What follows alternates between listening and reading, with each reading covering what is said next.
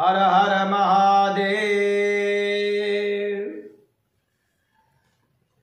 देखिए, हमारे पास में देहरादून से आदित्य क्षत्रिय व्रात्य हैं।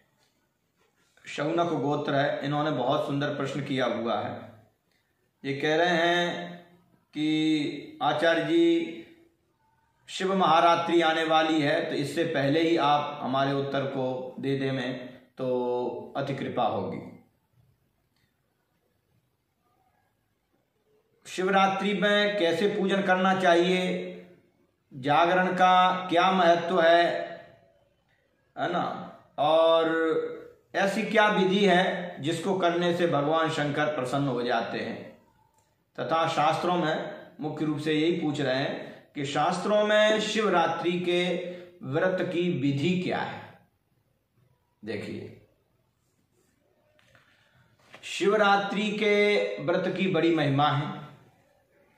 स्वयं भगवान शंकर ने स्वयं श्री हरि भगवान विष्णु को शिवरात्रि के व्रत की महिमा बतलाई है। श्री शिव महापुराण में। और उसके अंतर्गत उन्होंने कहा है कि इस व्रत को करने के चारों वर्ण ही अधिकारी हैं। सब ब्राह्मण से लेकर के आचांडाल पर्यंत सब इस व्रत को कर सकते हैं और करना चाहिए। विधि है। देखिए। शिवरात्रि व्रतम नाम सर्व पाप प्रणाशनम। आचांडाल मनुष्याणाम भोक्ति मुक्ति प्रदायकम।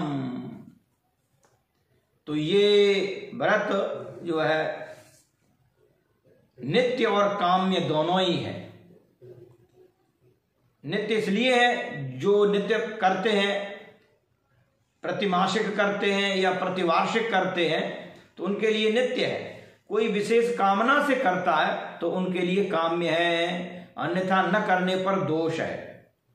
शिवरात्रि का व्रत कोई कहे, हम तो वैष्णव हैं, हम अमुक हैं, हम अमुक देवता के उपासक हैं, हम नहीं करेंगे, ऐसा नहीं है। ब्राह्मण से लेकर के चांडाल पर्यंत प्रत्येक मनुष्य मात्र को, माता बहनों को, सभी को शिवरात्रि व्रत करना चाहिए। अन्यथा पातक लगता है। ठीक है, इसलिए ये व्रत अवश्य करना है। एक बात और, हर मासिक में, हर मास में शिवरात्रि होती है। माने हर महीने के कृष्ण पक्ष की चतुर्दशी में, जिस दिन चतुर्दशी अर्धरात्रि या प्रदोष व्यापिनी हो या उभय व्यापिनी हो तो उस दिन ये मासिक शिवरात्रि या महाशिवरात्रि व्रत किया जाता है। तो रात्रि में जागरण पूर्वक भगवान शंकर के लिए व्रत को रखना, इसलिए इसको शिवरात्रि कहते हैं। है ना? शिव जी के लिए शिव जी की प्रसन्नता के लिए रात्रि में पूजन किया जाए, जागरण किया जाए, व्रत को किया जाए, विधान को किया जाए, इसलिए ये शिवरात्रि है। और फिर ये महाशिवरात्रि है, ये जो फाल्गुन कृष्णा चतुर्दशी। क्योंकि ईशान संहिता में ऐसा वर्णन आया है कि शिवलिंग तयो भूत कोट सूर्य समप्रभा। तो इस शिवरात्रि में जो भगवान शंकर का महाशिवलिंग था, वो प्रादुर्भूत हुआ था भगवान ब्रह्मा और भगवान श्री हरि विष्णु के सन्मुख तो इसलिए ये महाशिवरात्रि है। शिवरात्रि में यदि त्रयोदशी, चतुर्दशी और अमावस्या का स्पर्श हो जाता है तो वो त्रिस्पृशा कही जाती है। अन्यथा प्रदोष काल में, सायंकाल को हो और अर्धरात्रि व्यापिनी चतुर्दशी हो तो उसी दिन ये व्रत किया जाता है। और पूरे दिन ही इस व्रत का पूजन और विधान, नाम जप, ये सब है। विशेष करके रात्रि की महिमा ज़्यादा है। और भी यदि रविवार में हो या मंगलवार के दिन ये शिवरात्रि पड़े तो उसकी महिमा और ज़्यादा बढ़ जाती है। वैसे हमारे यहाँ जो व्रत की जो पारणा होती है, ध्यान देना, उनके ये नियम है कि तिथ्यंते पारणा व्रतांते पारणा या तिथि भांते च पारणा। ये व्रत के विधान, कोई व्रत पूर्ण हो जाए, उसके बाद पारणा करना, मन उस व्रत को पूर्ण करना, या वो जो तिथि में आपने व्रत किया है, वो तिथि पूर्ण हो जाए वो ये भानते वा पारणा, या वो नक्षत्र पूर्ण हो जाए, जिसमें आपने व्रत किया है तो उसके बाद पारणा होती लेकिन ऐसा शिवरात्रि में नहीं है। क्योंकि जैसे शिवरात्रि निशीथ व्यापिनी है प्रदोष व्यापिनी है, माने सायंकाल को प्रारंभ हो गई तो उसी दिन रहा जाएगा। भले ही पूरे दिन त्रयोदशी थी, इसी बार ऐसा ही है। अठारह तारीख को शिवरात्रि है तो प्रातः काल से त्रयोदशी है, और सायंकाल को चतुर्दशी आ जाएगी। और पूरी रात चतुर्दशी रहेगी और फिर दूसरे दिन भी चतुर्दशी है। तो तिथि तो पूर्ण दूसरे दिन शाम को होगी। तो पारणा कब करें? प्राय ऐसा होता ही है लगभग ऐसा होता है। तो देखिए शिवरात्रि की पारणा के विषय में कह रहे हैं यद्यप शिवरात्रि का व्रत निर्णय और पारणा निर्णय थोड़ा कठिन है। हम्म, बहुत जो है शास्त्रों में विभिन्न प्रकार के मत मतांतरों को देकर के धर्म सिंधु, निर्णय सिंधु इत्यादि में सुस्पष्ट किया गया है। उसी का एक सार रूप में एक संक्षिप्त विवरण बतलाता हूँ। तिथि नामेव सर्वासा मुपवास व्रतादिशु तिथ्यंते पारणम कुरियात बिना शिव चतुर्दशी। हाँ तो शिवरात्रि के बिना, शिवरात्रि में प्रातः काल संगव काल प्रातः काल निकलने के बाद संगव काल में पारणा कर लेनी चाहिए, ऐसी व्यवस्था होने पर।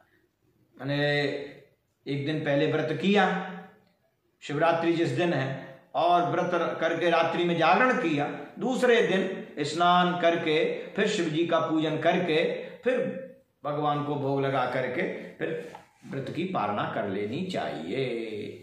चाहे वो तिथि समाप्त हो या ना हो, तिथि मध्य, तिथि के मध्य में ही शिवरात्रि की व्रत की पारणा होती है। ये जो इस व्रत में विशेष है। रात्रि में ये जो है, भगवान शंकर का पूजन करना अपने अपने अधिकारानुसार। कोई शास्त्र सिद्ध प्रतिष्ठित शिवलिंग पर या अपने अधिकारानुसार पार्थिव लिंग पर, मिट्टी के द्वारा बनाए गए शिवलिंग की जो है पूजा करनी चाहिए। चारों प्रहरों में सायंकाल को प्रदोष काल में, फिर दूसरे प्रहर में तो जो भी तीसरे में, चौथे में, सुबह तक प्रातः काल सूर्योदय से पहले तक, ये पूजन चलता है तो पूजन का बड़ा महात्म्य है। शिव जी को मिट्टी के बना करके उनको अपने, जो है, स्थिति, अधिकार अनुसार प्रतिष्ठा करके और फिर उनका पूजन करना, फिर उनका विसर्जन भी कर देना। आवाहन से लेकर के, ध्यान आवाहन से लेकर के विसर्जन पर्यंत। कम से कम गंध, अक्षत, पुष्प, धूप, दीप और नैवेद्य, आरती और फिर स्तुति, प्रार्थना और फिर विसर्जन। ये इतने कार्य चारों प्रहरों में हो जाना चाहिए। तो चार शिवलिंग बनेंगे।